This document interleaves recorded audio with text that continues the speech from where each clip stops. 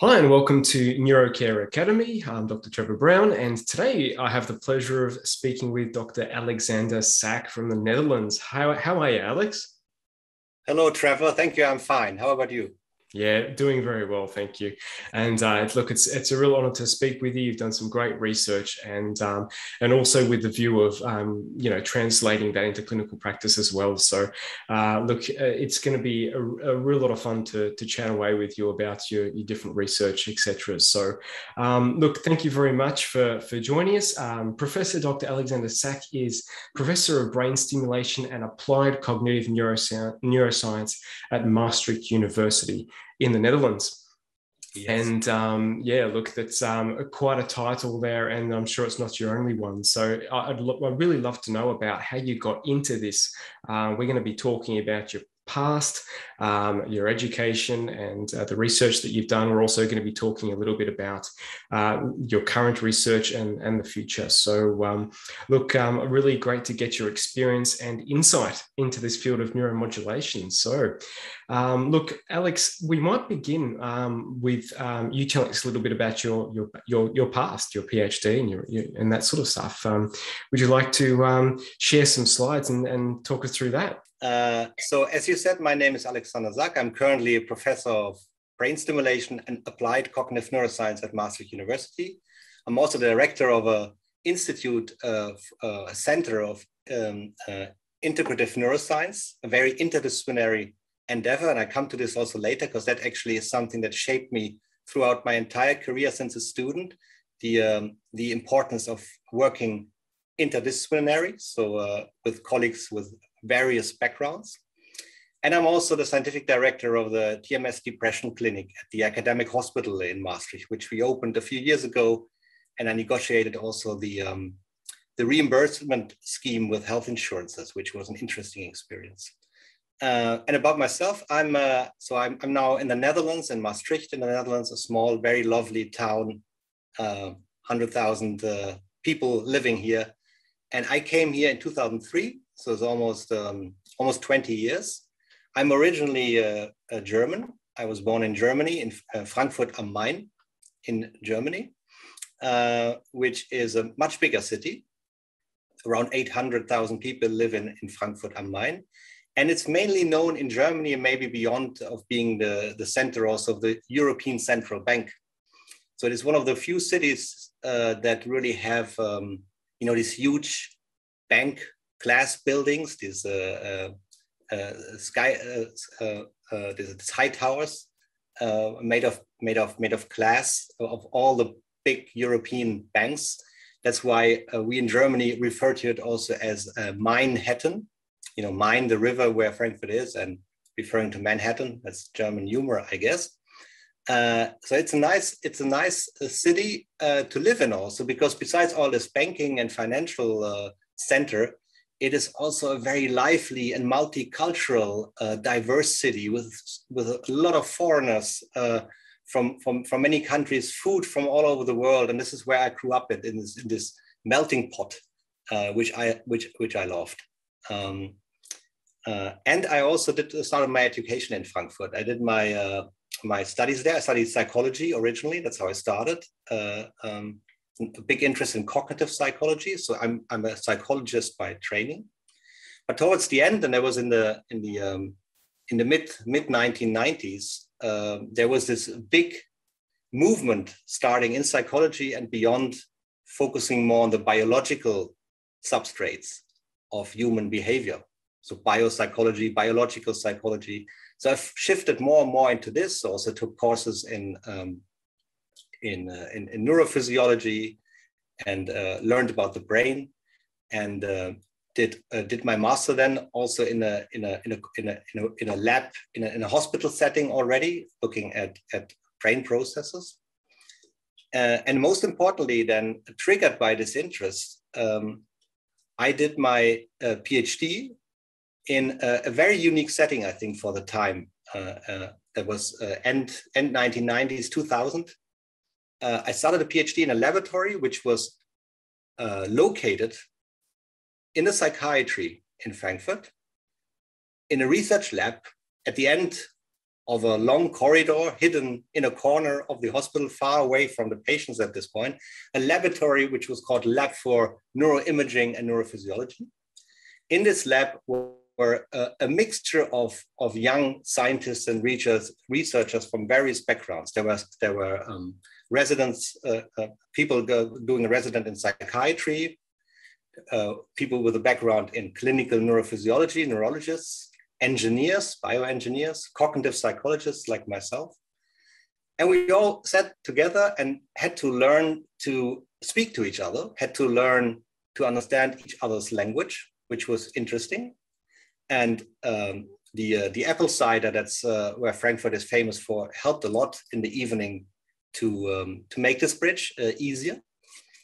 And uh, this was also the, the context in which I focused on my PhD topic very early in this uh, in, in, my career, which was already the wish to um, to move the technology further, the technology of TMS, uh, which I worked with uh, in my PhD, and the idea that it would be very very important to not only do TMS and see what happens to human behavior or to clinical symptoms, but to really understand what's happening in the brain. And to this end, we thought it would be important to technically develop into, into ways to combine TMS with other techniques, such as functional magnetic resonance imaging or EEG. So in essence, my PhD topic was on the combination of TMS with fMRI in the context of human behavior. So we have participants in the fMRI scanner.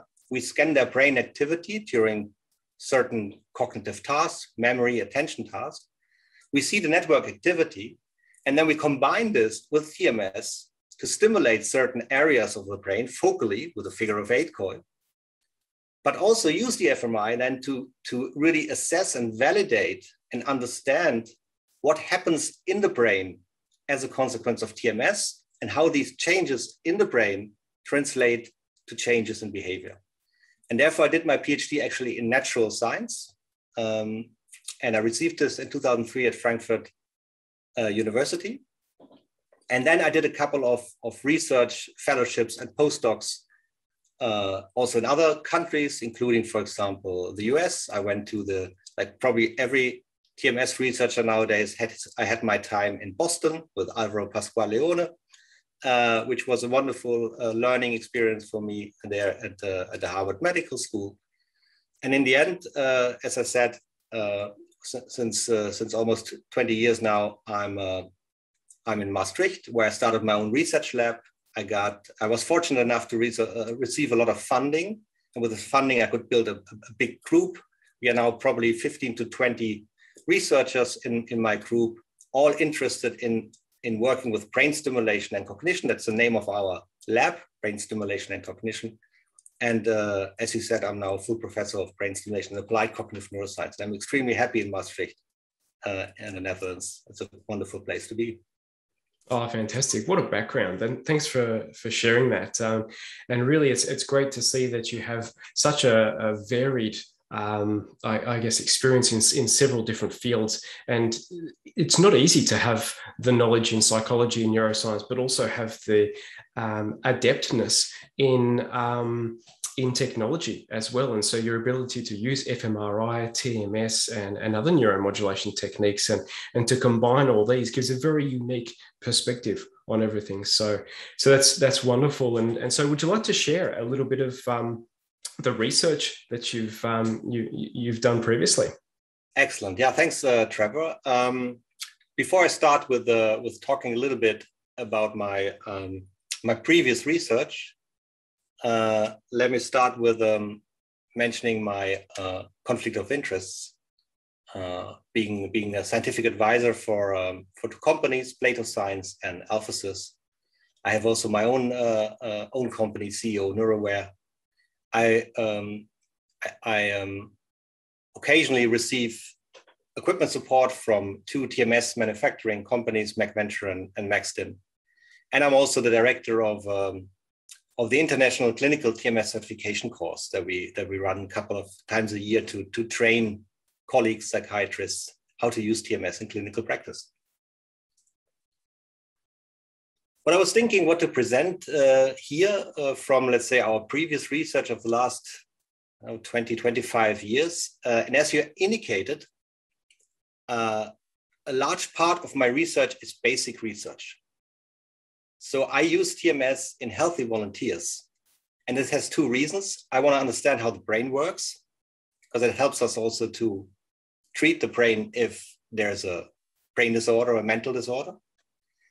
And I want to learn how TMS works, because that helps us to further improve TMS to better help our patients. So I've done a lot of, uh, say, scientific, technical, um, psychological work. And I picked three examples uh, of studies we did in the last years that I think were instrumental for our current efforts to translate this into better treatment, into better depression treatment, into better OCD treatment for, for patients being uh, using TMS as a therapy. Because I realized that the main part of the audience watching this video is, is mainly interested in the clinical potential of TMS. But the first study is long ago from 2005. It's a work I did together with Pascual-Leone in Boston at Harvard Medical School. Uh, it was published a long time ago in Science. Uh, and I think it's an important study because it revealed that our brain is very plastic, it's very, it's very dynamic uh, and flexible. And that if we do TMS to the brain, we need to realize that we cannot just simply expect the brain to passively accept the brain stimulation that we apply. A brain is a, is a living, dynamic organ.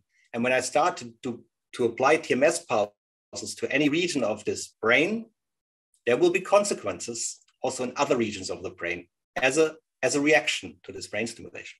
And this is something that we showed in this, in this uh, science paper in 2005 already in the context of a particular cognitive task. The details are not so relevant here. So we had healthy volunteers in the scanner doing a cognitive task. And not surprisingly, and that's almost true for almost everything we do, the brain works in networks. So it's not one area doing memory, one area doing attention, one area doing emotion regulation. That is not how it works. These are always large, widely distributed networks that are active when we perform any sort of behavior, cognition, emotion. So we identified this network, and then we realized that if we use TMS to target one of these regions, in the left hemisphere, on the right hemisphere, one of these various regions within this network that underlies this uh, cognitive ability that we're interested in, we realized that actually there is a reaction of the other areas of the brain trying to counteract sometimes the stimulation that we do.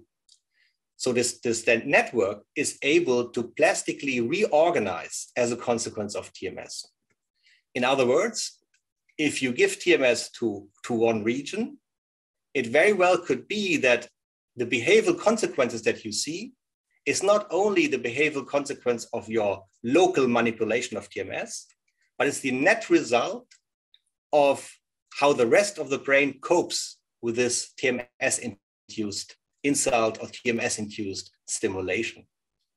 And that shows that uh, it's too simple to think that we just we just we have a disease and there's an area that is too little or uh, uh, uh not enough active on, uh, or, or too active that we position the coil there and we try to increase or decrease its activation level. And we will do this. And then we measure how the clinical symptoms improve. And we conclude from this that we succeeded or not succeeded in up or down regulating the activity. It is always um, possible of the rest of the brain to immediately, during the stimulation, reorganize and reconfigure the network to potentially uh, compensate for the stimulation or even boost the stimulation. Uh, so there's this dynamic interplay between the areas in the network as one example of brain plasticity. And this is something that I will come back later to how we can actually utilize this to, uh, to develop better, more effective clinical protocols for TMS. The second study that I would like to highlight goes one step further. So I now told you already that the brain works in networks where areas dynamically form different networks and can reconfigure. You know, the same area could be part of network A or network B, and it is a flexible re reconfiguration of, of networks. And the TMS is just one part of this. So the big problem, uh, the big question is, what actually happens in these networks if we apply TMS to, for example, the prefrontal cortex, as we do in depression treatment? Do we only stimulate the prefrontal cortex? And how does that translate into improvement of depression? What, where's the explanation? Does it make sense? Is depression located in the prefrontal cortex? The answer to all of this question is no. And, and how we can actually study this systematically is if we manage to do the TMS stimulation actually inside an fMRI scanner. So I literally mean to simultaneously do functional magnetic resonance imaging, which is this big machine where you lie in and you scan your uh, brain activity throughout the entire brain, and TMS being a technique that can locally stimulate an area of the brain. So we've done this, and we, we applied the TMS inside the MR scanner. And the take-home message here is that, like I already indicated, it's very clear. Whenever you stimulate one area of your patient's brain, this will always result not only in a local change of activity, like you, you intended to, increase or decrease activity in the prefrontal cortex when you treat depression. That is the case, that is good, but it would always, under all circumstances, trigger activity changes in a network. In this example, this is real data. So we stimulate, for example, here the right parietal area. So it's in the back of the, of the brain in the right hemisphere. This is the region we wanted to stimulate, and we did. But you can see that by putting energy via TMS into this one area, a whole network actually is modulated. It's always a network response of TMS. We speak of local effects of TMS and remote effects. These are remote effects. So it's a network. And we have also shown that if you, for example, by stimulating this area here in the parietal cortex, if this leads to a cognitive change or behavioral change in your subjects or patients, this is not necessarily the result of the, the causal result of an activity change at the place where you stimulate, but it might as well be the functional result of these remote network effects. So by stimulating here, you're changing also activity within this network because of the spread of activity within this network. You're also changing activity here. And it might be this change that causes the behavioral changes that you see in your subjects or patients. It's very important to realize that we always talk about TMS network effects, which complicates the matter but it's actually great news for clinical applications of TMS because that's what we need. We need network effects. And now comes the second take home message from this second publication. These network effects were state dependent. That means if I do the exact same thing, I stimulate the, the same area with the same TMS coil, the same TMS protocol and intensity in the same person, everything is identical. The only difference is the state of the brain of this per person. For example, being resting or being actively engaged in a cognitive task or watching an exciting movie. These are different states of the brain. This brain state interacted with this network effect of TMS. That means the kind of network effect you get, the strength, and even the type of network is dependent directly on the state of the brain. And we've shown this here with real data in healthy volunteers, but it has huge implications for the clinical applications of TMS because that trivially means you cannot assume that your TMS depression treatment will have in the brain the exact same effects if you don't control for the brain state. sometimes your patient might be tired, sometimes your patient might be doing something actively during the TMS. And these different states of the brain, these cognitive states, will shape the network response of your treatment. At the moment, this is largely ignored. So we don't control, we don't standardize the cognitive state of our patient during depression. We just think that no matter in what condition, in what in what what emotional cognitive state the patient is there, just sit down in the chair. Here's the TMS FDA depression protocol, and it will always do the same trick. Very unlikely to be the case because we know that TMS interacts with the state of the brain at which at, uh, at which you're applied. And that's why I think this is an important study from the fundamental work combining TMS with fMRI simultaneously. And Alex, if yes. if we within one subject, um, these states can change the effect of TMS what about between subjects? Can you say that the, the desired effect is, for example, in a resting state, is the desired effect in a resting state across samples or across subjects, or is there still an, another variable? It's another variable. So you have the intra-subject variability because of changing states, but you also have huge variability between subjects, which which uh, which are caused by by different uh, different uh, um, factors, which I also will uh, go to uh, come to in, in a second. So it, it could be that this one size fits all approach that we use the same target and the same protocol for each and every depressed patient. It's very likely that this is also not an optimal way to do it because there are individual differences, which is the optimal target and what, what is the optimal protocol. And we could potentially personalize it. And I think I, I, strongly believe that by personalizing the depression treatment or other clinical treatments of TMS, we could actually very much still increase the already quite good remission and response rates of TMS. And that's independent of what I say here, that within your patient over the 30 sessions or whatever you do, it, you will have some days with a better uh, treatment and others with a worse because you don't control for the state of your patient during the TMS.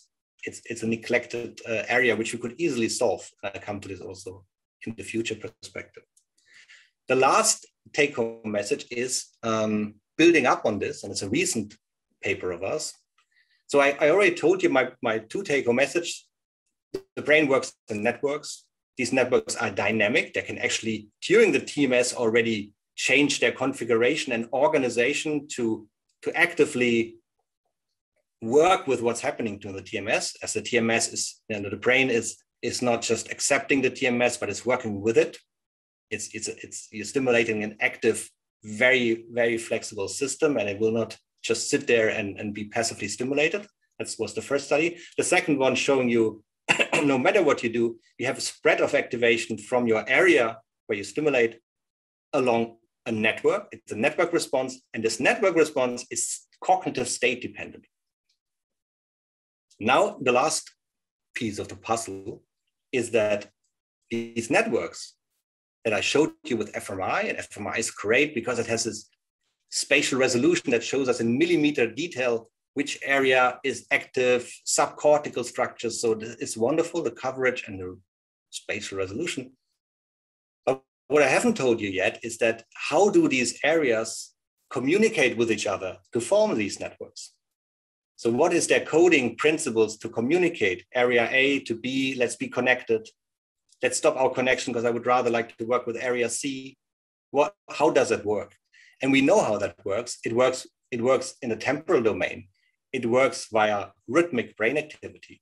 So it's an oversimplification to think that uh, the brain works with, um, uh, with an area being active or not active on or off. That's not how the brain works. Instead, it works in rhythmic brain activity. So neurons fire in a certain temporal rhythm, like a musical instrument, like a drum. And they sometimes can synchronize and align with a rhythm in another area, and then they are connected. Their phases are connected, for example. If you look at this, these are neurons that fire, and this is time.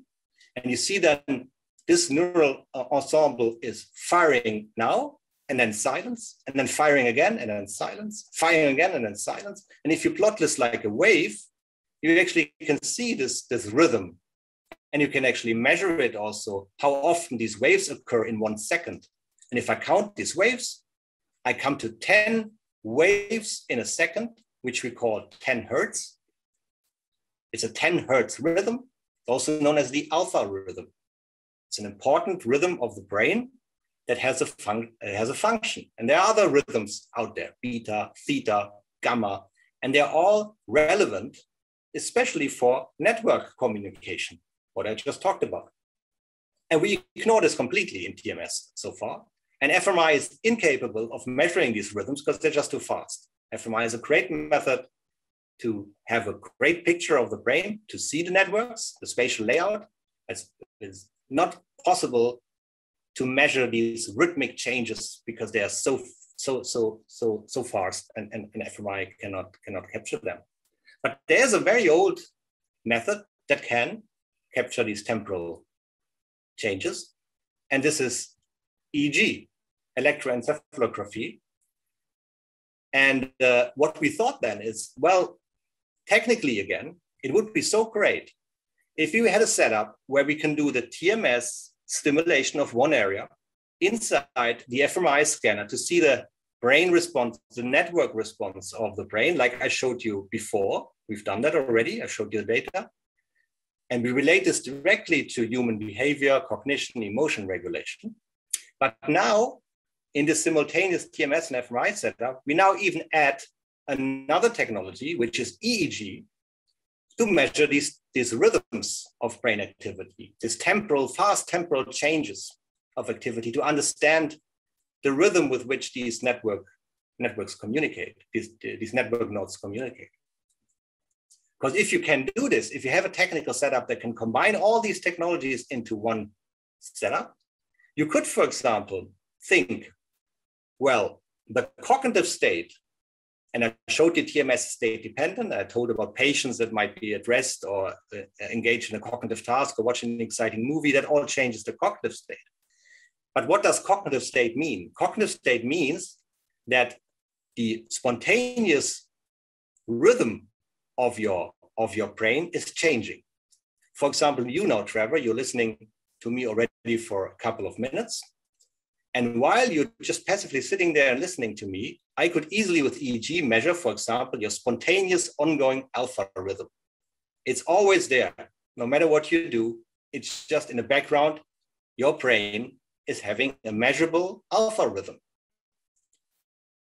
And this alpha rhythm will change depending on your cognitive state. So if you get tired, if you get bored because you think it's not super interesting what Alex is talking about at the moment, I could see this if I had an EEG on you.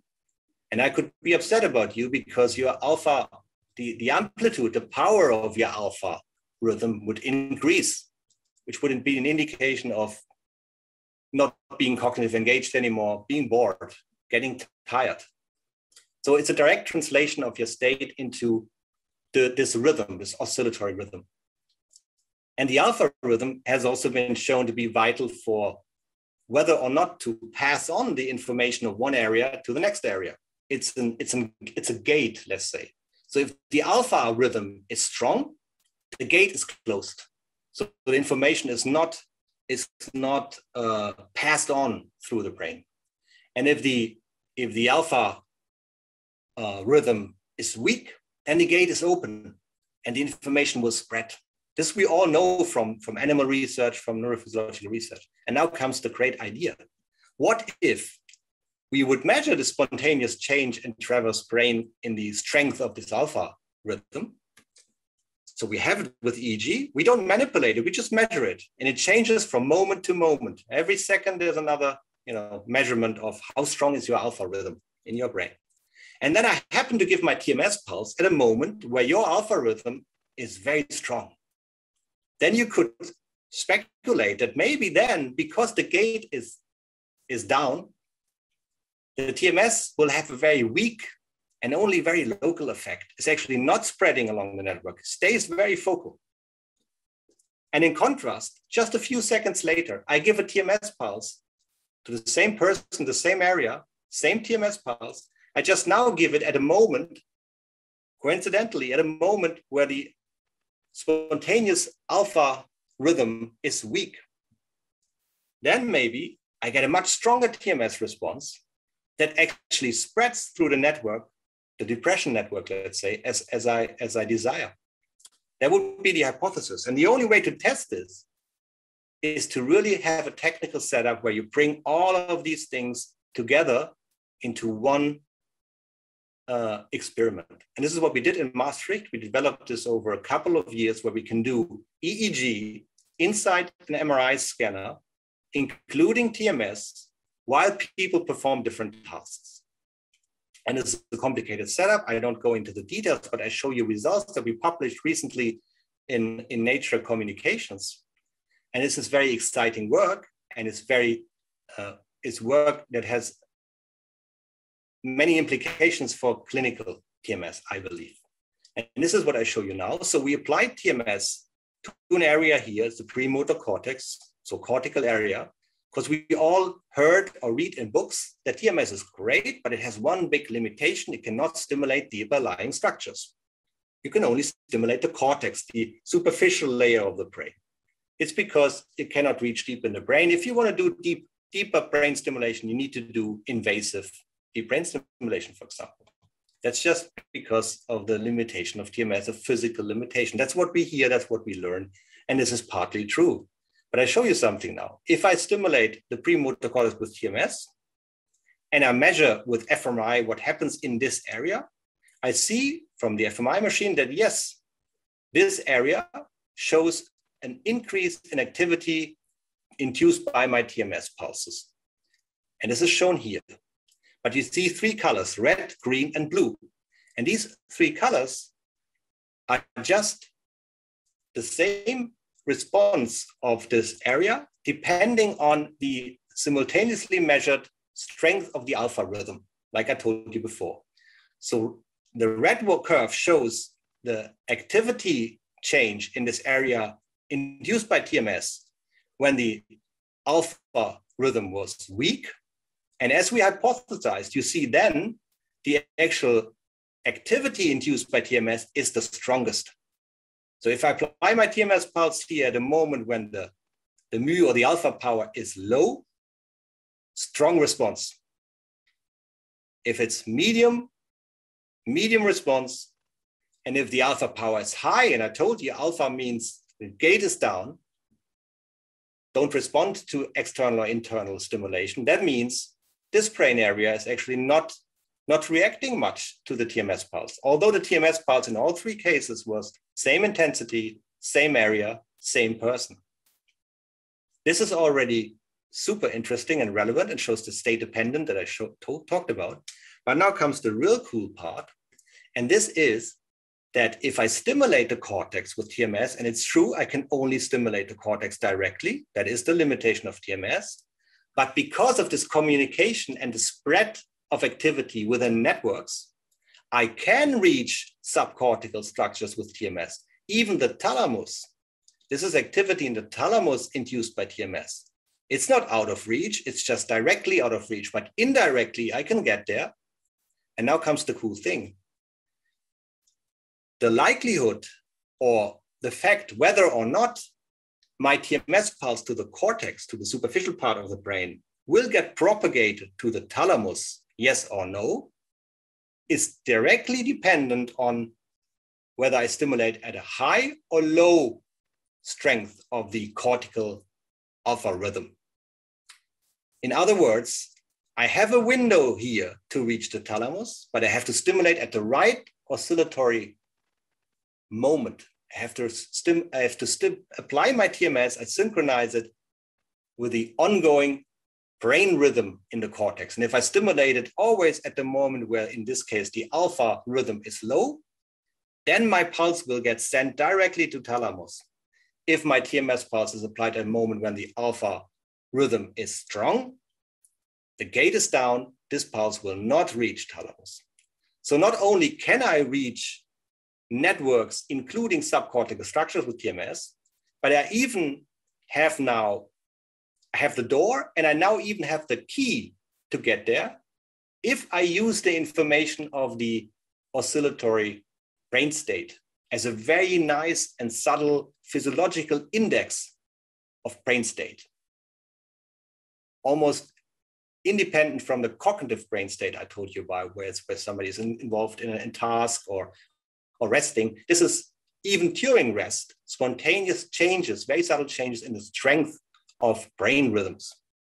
And I think this has huge potential for personalizing, fine tuning TMS protocols that are synced with a personal brain rhythm of your patient to have a more robust and reliable network effect in depression, uh, much more than it is now the case, which could explain also the inter-individual differences or the um, the not perfect response and remission rates of some patients that you have this i come to this later but you have this fact that for some reason one patient responds very well and another patient is, seems to not benefit from from tms here again showing this data on the whole brain we also had other frequencies we looked at not only the let's say the alpha 10 hertz rhythm but also the beta rhythm which which did a completely different thing so if you synchronize to the beta rhythm, you actually have the opposite. So if it's strong, then it helps the spreading of the TMS, and if it's weak, it's it's it's uh, it's preventing the spread. So it's a frequency specific. The frequency band matters, and we know this makes sense in neuroscience and brain science because we know so much and still so little about which frequency bands are used for communicating within which networks, large distance networks, local networks, depending on the cognitive function and so on. And this is actually a tool that can help us to, to unravel this interplay between networks, network configuration, and temporal dynamics in the brain, rhythms of the brain. So independent from the clinical potential, this is a great tool to do fundamental research in the functional relevance and role of these, of these brain rhythms for, for cognition and, and human behavior.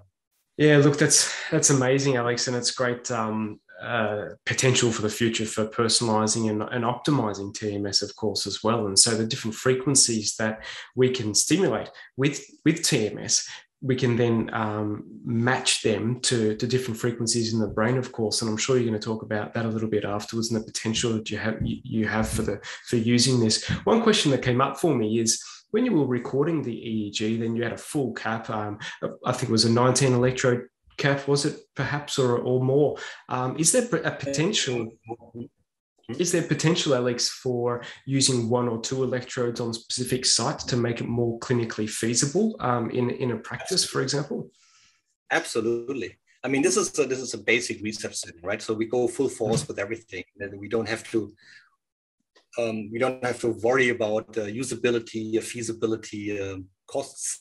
So we, we, we just want to measure as much as possible. But for example, um, measuring the, uh, the uh, individual alpha, as to stay with this example, the, uh, the strength of the alpha rhythm, you don't need you need you need so many electrodes to measure it. It could be really one electrode if it's placed correctly.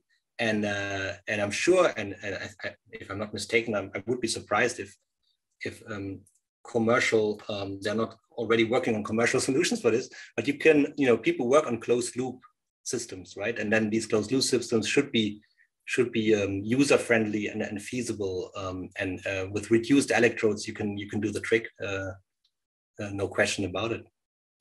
Great. Well, look, as as a midway point to to just um, lighten the mood a little bit and reduce my alpha and and everybody's Alpha. Yeah. I have a I have a, a, very important question for you, Alex. I have a yeah. question regarding um, if you were to hold a dinner party uh, at your house in in Maastricht, um, who would you invite? Who, who are people that you would love to spend some time with at a dinner party, um, just to have a conversation? It doesn't have to be funny. It could be interesting. But what do you think? Oh, that's uh, that's that's um, that's a that's an interesting and mean question to ask in such an interview. uh, first of all, I love dinner parties because I love to eat and, and have a good glass glass of wine. I'm not the greatest cook, so I would be very nervous um, to host them. Maybe I invite them also to cook along with me. But whom would I invite? Um, very very difficult. I think when I had as a as a you know as a young man, you have sometimes this question: who do, whom do you want to meet or so? And and then it was always possible to it could be could be uh, celebrities could be normal people could be even you know people that are not not among us anymore. And i always mentioned that um, that uh, uh, if possible i would like to um, to talk to jesus uh, the historical figure. So he's always on my on my wish list because there are so many questions i have and um, uh, i wonder about some decisions uh, he made. So that would be a great conversation I think very recently, I don't know why, sometimes I have these obsessions that, that I find people interesting and then I watch hours of hours of YouTube videos on these people, the interviews, and I find this, find this inspiring. And I don't know how that comes, but I'm, I'm almost almost obsessed about it. And I'm trying to figure out, you know, is this is this great? Is this inspiring, or is this is this just is this just another fake uh, uh, ego person that you know? And and I have this recently with Elon Musk. So I would invite Elon Musk because I'm really torn whether he's a genius or uh, or um, just crazy. And and and and with him, with him, you know, with all of his activity, even with a, with a Neuralink, so he's going a bit into our field in brain stimulation, and working neural implants, and he's he's he's, he's giving lectures about um, you know the, the, the bottleneck of current solutions and deep brain stimulation and the interfacing and so. Uh, so he does this, you know, with with with a bit our field, and then what he says makes makes partly sense but he you know he, he all of a sudden is not an expert. He hasn't studied for 25 years like i did but then he gives a big presentation and telling us all these things. And then in the next talk he talks about rocket science which seems also a difficult science uh, to get into or electric cars. And he seems to have all this technical knowledge about this. So i, I want to know is this fake? Can i in a in a long dinner party you know instead of um, having a few questions on a YouTube video, find out whether this is all like abstract knowledge, you know, like reading a few abstracts and, and dropping a few terms and you, you, you appear to be knowledgeable. Does he really understand artificial intelligence, uh, how the brain works? And uh, yeah, that would be interesting. Elon Musk. And who else? Um, probably Angela Merkel, the German chancellor, because she's a, um, she, she will be not chancellor anymore in September. Uh, um, besides Helmut Kohl, which was also in my youth, uh, Helmut Kohl was the eternal chancellor. And now uh, I, I thought um, there um, will always only be one chancellor. That's a bit, bit the German story. Once they have a chancellor, they stick with it for 12, 14 years. Kohl was one of them. So it was for me quite relieving to see that there can be democratic changes. And then Merkel actually was even longer than Kohl, I think. But she's very different from other politicians. Uh, she doesn't have this ego. She, she, seems very relaxed. She doesn't seem to have, uh, you know, this this um, this need to show who's the stronger or so. And and and i would like to talk to her about her experience in this still male dominated world of politics how she keeps her cool all the time. Uh, so that these would be the three people. I hope they also interact with each other. Well that was my my next question. That would be very interesting yeah. interaction between all of them. Yeah. Yeah, yeah. well, yeah. great great answer Great answer, yeah. and um, it gives us some discussion points next time we meet. Um, but look, uh, so, so, let's keep going. What, what, what, about your your research, Alex? Um, at the moment and into the future, obviously you've done all this fantastic stuff with with entrainment of the brain and uh, different frequencies of TMS and, and measuring that in a closed loop type system. So, can you tell us anything about that? All right. Um, so I have also prepared a few slides about what we are what we're aiming to do now at the moment and uh, which is then by definition also the future of the next few years because i really can't look too much ahead things change so dynamically and and and, and quickly in this field but I, I noticed for myself uh, because you know I do this fundamental research. But as I said, I also now um, I'm scientific director of the Dep depression TMS clinic at our academic hospital. Uh, so we treat patients with TMS, and we do uh, different protocols, the FDA approved protocol. We also do um, theta burst stimulation. And of course, it's an academic hospital. So it's, it's at the moment in the Netherlands actually um, an established and recognized treatment for depression that is reimbursed by health insurances, which is great news by public health insurances. You don't, you don't need any special or private insurance to get it covered because the evidence was so convincing to the um, policymakers uh, in the uh, mental health uh, sector in the Netherlands that me also being involved in negotiating with these people was very I was very pleased to see how open they were and how it's now really included uh, in the reimbursement schemes of, of everybody's health insurance. But at the same time, because we're an academic hospital, we also do um, try to see how we can further improve it. Because I think even though it's an, approved and even health insured covered therapy, we're still far away from having found the optimal way to use it to treat depression, not to not even to talk about applications in other disorders, which which should follow a similar path uh, as depression did. And if I see my patients, and I have all these great success stories, and I'm, I'm sure many of you have, you know, patients that were depressed for 10, 15 years and TMS, and then they didn't respond to medication or psychotherapy. And then they followed the four, five, six week TMS depression treatment and they are in full remission for the first time. And, and, and they're so happy and they're thankful. And the families, it's, it's, it's always impressive again and again to see this. And still, there are 40, 50% of the patients in our clinic and in the literature that come to our TMS um, center. And I, I cannot identify them as non-responders before the treatment. So I go with them through the whole six weeks. But in the end, we have to conclude that for some reason, for them, TMS didn't work, didn't make a big difference. So the biggest problem I have scientifically also as a scientist is why?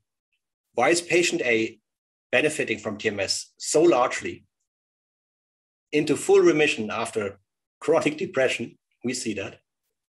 And patient B not at all, nothing, no benefit at all. Why is that? And of course, this question can be addressed in, in various ways. People working on, for example, at least finding some sort of treatment, response predictors, biomarkers, you know, looking for something that you can see in a patient before you go through the TMS treatment to indicate the likelihood of this patient to yes or no benefit from TMS. And I know many colleagues, including us a bit, are doing research in this line. Very difficult to present anything conclusive here, to be honest. Um, the other way to address this, which I will be talking about, is maybe the one size fits all approach is the reason why patient A is benefiting and patient B not. Because at the moment, we just have one very simple procedure FDA approved procedure, how to position the coil, where to position it, what protocol to run. And because depression is such a heterogeneous disorder, maybe it's just not that patient B wouldn't benefit from TMS, but it doesn't benefit from TMS the way we apply it in patient B. And the second problem is relapse. So uh, this is also something that's unsolved uh, and, and not not satisfying at the moment is that although we have this great tool of TMS to get people into remission, what do you do then? Uh, we do it as many others of you, I'm sure, also do it. That well, you're in remission, you so you have to you don't have to come anymore for TMS treatment. Uh, go home, have fun. And if you do this, if you discontinue a successful treatment, we know there's literature about this that the likelihood of relapse is extremely high. 80, 90% within a, a couple of years. Some patients come back after three months, others come back after a year, after come back after three years. There are a few that, that don't come back because hopefully they were really stable or they uh, seek um, help elsewhere, but there is this high percentage of relapse. So I think it's very clear that we need some sort of maintenance treatment something that keeps them stable uh, uh, after successful TMS treatment. So these are the two problems I'll, we work work on at the moment. And I don't have many slides on this to not bore you with too many details, but one is actually directly utilizing our fundamental work I have presented uh, a few minutes ago. And now we translate this to the depression network. So I told you lengthily that TMS always has a network effect. And the depression protocol of TMS also has a network effect. So if you stimulate the dorsolateral prefrontal cortex, which is a very popular site in clinical TMS, it's used in many, many disorders, including depression as our treatment target. you'll see that in depression, actually, um, the activity is a network response, including the DLPFC, but also other areas. You see here uh, various networks, cognitive control network, an affective network, default mode network. All of these areas play a role, all of these networks play a role in depression. And there's one connection uh, that has been shown in various papers to be apparently especially important in the treatment of depression with TMS. And this is the connection of the dorsolateral prefrontal cortex with the anterior cingulate cortex. There are data in depressed patients showing that if you stimulate the dorsolateral prefrontal cortex, you also modulate the anterior cingulate cortex because they are connected. Now, it has even been shown that the TMS can change the connection between the DLPFC and the anterior cingulate cortex. And it has been shown that this, this change in the connection between the DLPFC and the anterior cingulate cortex is correlated to improvements of depression. And this all indicates that what we actually want is not to change the activity level of DLPFC. That's not doing the trick. What we want is the spread of the activity from the DLPFC to the anterior cingulate in a robust and optimized way so that their connectivity can be modulated by the treatment. And how can we do this using the technology I showed you before? Well, we could just do the same thing. That's what we currently do. We measure at the DLPFC the spontaneous changes in the brain rhythm and we test different frequencies, could be alpha, could be theta. Um, it's, it's an open question, which frequency is most relevant here for the communication between DLPFC and anterior cingulate. We'll test that. And then we apply the TMS pulse synchronized to these ongoing changes in the strength of the rhythm, just like I showed you before on the healthy volunteers. We do this now, and uh, we apply the pulse at different levels of strength, which is called power but also at different moments in this sinusoidal curve. The rhythm, as I showed you, can be plotted as these waves. So uh, it's increasing and then decreasing, increasing and decreasing. And you can give a TMS pulse at different moments along the cycle. That's what we call the phase, the phase of the oscillation. So we're also going to test whether giving the pulse at a particular phase, at the peak or at the trough or somewhere in between at this ongoing rhythmic oscillation, whether this plays a role in the likelihood of this TMS pulse from getting propagated from the DLPFC to the anterior cingulate cortex, because this is what we want in depressed patients. This is, this is what data has shown that it is this spread from the DLPFC to the anterior cingulate that is doing the trick that we want to modulate. So let's find the TMS pulse synced with the ongoing brain rhythm that gives us the most optimal, robust, and reliable spread of our DLPFC TMS pulse to the anterior cingulate cortex. And this is something we do at the moment. And then the question is, well, assume we, we find that. Assume we know, well, yes, you can optimize the depression protocol because if you synchronize it with the ongoing brain rhythm, be it the strength or the phase, if you do that, then every single pulse is most optimal in doing the depression network modulation, which is what you want. This will be the direct scientific basis of informing closed loop TMS. And what does closed loop TMS mean? Most uh, colleagues and I'm sure even commercial uh, companies are, are trying to utilize this by measuring EEG and triggering the TMS by the EEG. And that's a perfectly fine approach to do that. It would mean that you have your patient needing to undergo some EEG. We talked about this. Maybe you can reduce the electrodes, but still you need EEG electrodes and you need to have good signal from the EEG. EEG is a very sensitive uh, method. And then they measure the spontaneous changes in this brain rhythm and trigger the TMS at the perfect moments of this brain rhythm. which is called then the closed loop. It's not so simple because every TMS pulse also resets this brain rhythm. Uh, so it's it's uh, I don't want to go into the technical details, but there is a huge scientific debate whether you can actually call this closed loop or whether it's more open loop and, and so forth.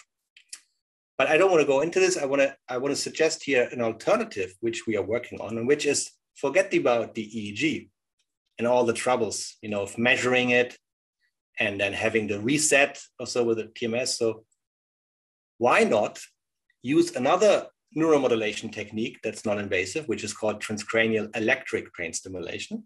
And it's a super simple, cheap, user-friendly, portable device. It's one example is shown down here. It is a pretty much it's a battery with two electrodes. And you place these electrodes on the head of your patient. And there's a very low intensity current, few milliampere running between these electrodes. And there's a lot of research on transcranial electric brain stimulation that shows that this, even though it cannot induce uh, action potential, it doesn't make your neurons fire, it can change the resting membrane potential, which means makes these neurons more reactive in firing or not firing to internal or external stimulation.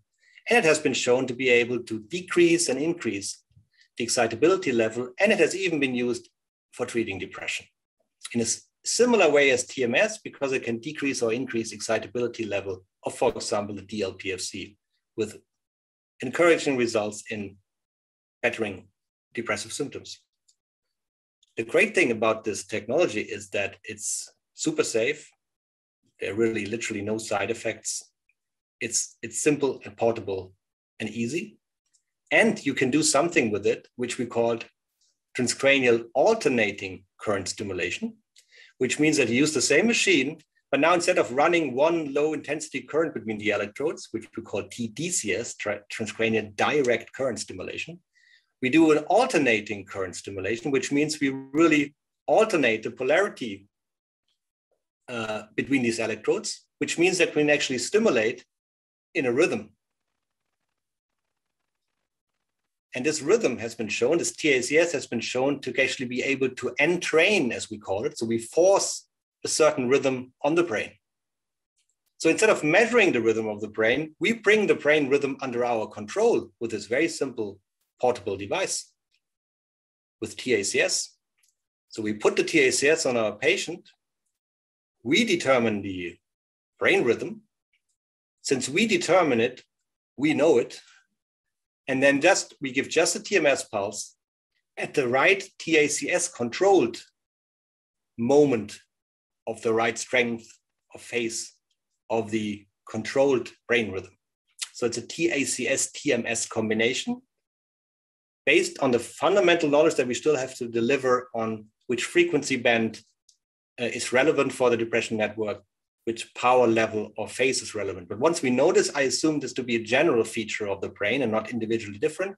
And then I think this could be utilized in a very user-friendly, feasible, practical way in a um, into the standard TMS treatment. No need for, for EEG and, and, and electrode paste and whatnot.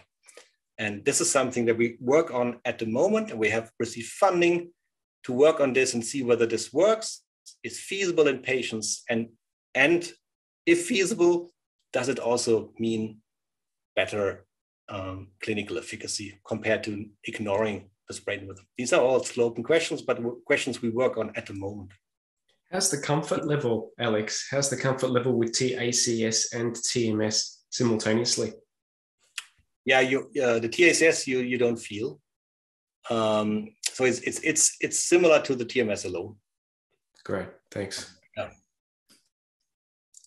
So you see here a sketch of the idea that we have um, um, for, for personalizing the TMS on based on this idea, um, finding, in the end, you could think about what people also do, knowing that this DLPFC anterior cingulate connection is so relevant, why not do the reverse engineering has been done you know, by colleagues now and, and published even in depressed patients that you just use fMRI to, to find the anterior cingulate cortex that you want to modulate and then work your way back to the cortex and find the exact spot within the DLPFC that is best connected in this subject with the anterior cingulate. That's the anatomical connectivity.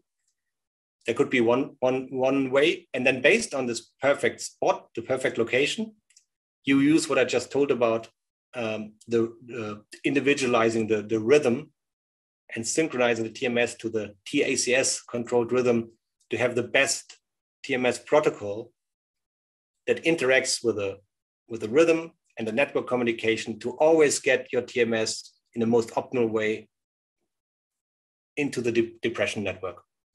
And this can be done, this will be done. Whether this means higher clinical efficacy, we will have to see. This will be the, hopefully in a few years from now, we'll know that. Uh, and the second problem uh, that I would like to address is the, the relapse. Um, this is just um, a simple visualization of what I, what I said before. So and it's probably true for any sort of treatment, be it TMS or, or psychotherapy or even medication.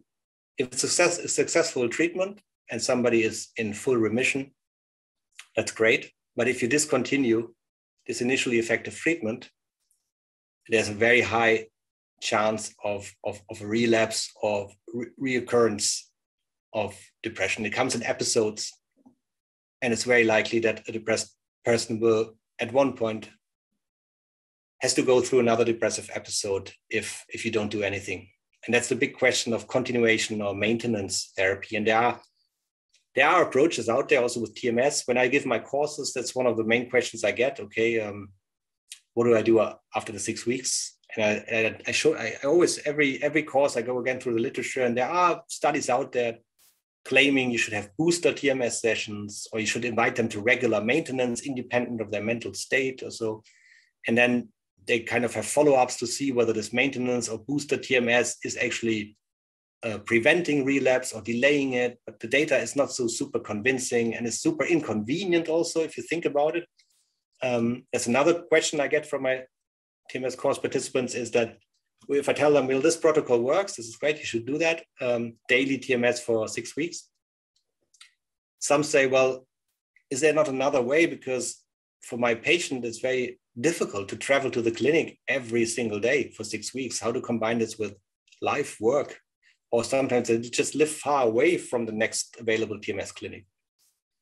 Uh, so that's already a problem for the acute treatment. And for maintenance continuation, it's even, even a bigger problem because it's kind of lifelong coming back uh, for maintenance.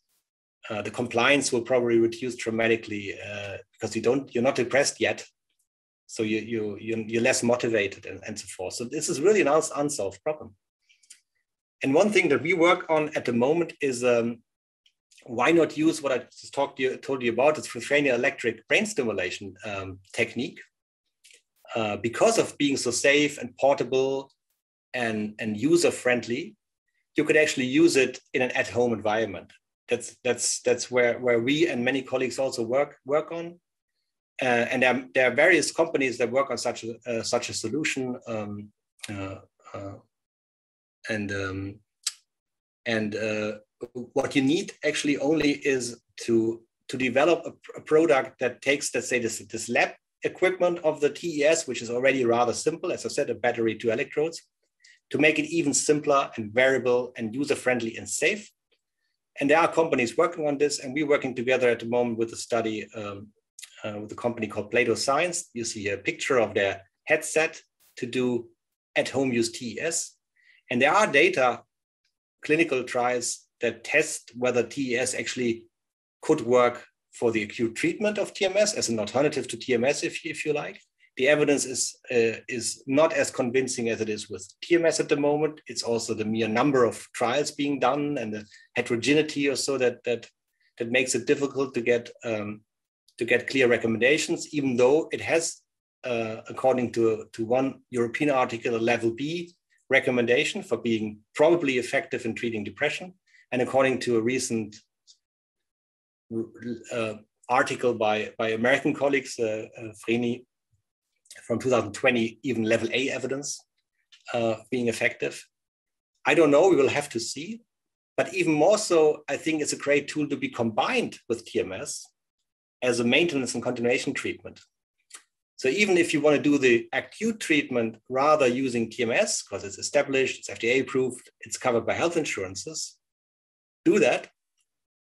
But after the six weeks, if people are at home, why not trying to see whether if they do this very easy to use, comfortable TES at home, whether this actually helps to at least delay, maybe even prevent relapse and the need to have booster TMS sessions or so. And this is uh, something that has nobody has looked into this. I'm sure people are doing this at the moment, and we are one of them, uh, partnering up with this with this particular company. But there are many others, I think, offering similar solutions. I hope, and I would encourage other colleagues to join us and do similar research because it's a bit of a longer shot. Because in order to show that something is a relapse prevention, you obviously need to wait for a long time before you have meaningful data that shows well, you know, after one year or two year follow up, indeed the survival rate or the relapse rate in the TES home use group was significantly different from a no maintenance group or other forms of maintenance. So this is something I'm very excited about, and, and we also just started uh, a few months ago. Brilliant. And I think that's, that's it for now. Yeah, no, thanks, Alex. And so one of my, you know, my next questions was, how do you see the future of neuromodulation? And really, you've spoken about it a lot there, and is that really the um, the home use and the prevention of relapse is uh, is a key feature, and uh, to have access now to the technology that we do now, technology is really developing so fast that it's possible to have these in our own home, which is fantastic. So we need to obviously do a lot of research uh, before before sending these devices out to people in their own homes, and and with in the Netherlands, in Australia, in, in different countries around the world, the reimbursement of TMS allows us to, uh, I guess, access a larger population um, yeah. and, uh, and, and gives us the opportunity to to have those longitudinal type studies or those longer term studies. So that's brilliant. Um, look, Alex, we, I've had a fantastic time listening to you talk about all your your amazing work. Um, so I'd just like to thank you very very much for joining me um, on this. And um, is there anything else you'd like to share with uh, with anybody, any clinicians who might be watching this and, and um, perhaps considering neuromodulation in their own clinics? Um, yes, maybe. So first of all, thank you very much, Trevor. I also enjoyed this interview very much. Um, uh, always happy to hear an Australian accent again because I had a wonderful time in Australia uh, uh, last year when I was in the West Coast. Wonderful country, wonderful people, the best beaches I've seen in my life. And uh, with uh, with neuromodulation, yeah, I think it's really a booming booming field now, and it's a great field to get into because it, it is a great tool. TMS us to, to research the brain, to learn about the brain. And at the same time, it's a tool where we can actually help patients. I see that we can make a difference in the life of these patients, and there's nothing more rewarding than that. And I think we're just at the beginning of it because we use still so so one size fits all, very rough, simplified models to do it, and, and still it's it's it's successful, successful even successful enough even to be to be officially recognized and reimbursed by health insurance for the case of depression. But there's so much more we can do to fine tune this, to personalize it, and of course to to apply it um, also in other contexts. I mean, there are there are, there are great results on the horizon for OCD, uh, pain, uh, and other conditions. Uh, so I think I would I would um, clinicians I would I would really invite to look into it uh, and to consider it, uh, but to make sure that if you go into this to um, to receive appropriate training either by the, um, the Neuro Academy uh, course or other courses available. We also offer a course, Harvard University offers a course. I think it's vital to have a proper training in TMS techniques, technique and to have also community building there because the field is changing so rapidly. Uh, you see it probably in your course. I see it in my course that after a year, the things that I can teach or the evidence that we have is not, is really fundamentally different almost. You know, it's really moving moving on in a fast pace. So it's I think it's important to stay in touch and have something like best practices and guidelines what we work on. And uh, uh, I'm in love with the TMS as a therapy because it it has so many advantages over other uh, therapies. because um, it's it's really like a, a brain-based therapy with, with little to no side uh, with very few to no side effects, and um, and it's it's so flexible, and it's directly interacting, let's say, with this mysterious relationship between brain and behavior, brain and disease. So it, it really taps into this into this um, yeah into into the into the causal substrates rather than having a, a systemic drug or so that floods the brain with a with a with, with all sorts of side effects uh, and therefore i think neuromodulation is, is the future in all ways tms might not be the, the only and the final technical solution there are others developed and I, and I welcome this also very much so even if you have a technical or engineering interest i think this is the place to be to also develop new technologies you know uh, focused ultrasound or uh, light based or implants or so that it's, it's really a booming area and it's exciting to be uh, among those people yeah, absolutely. Well said, Alex. Uh, once again, thank you very much for your time and for joining us. And um, I'm sure the viewers will, will enjoy this very much. Have a great thank day. Yeah. Bye.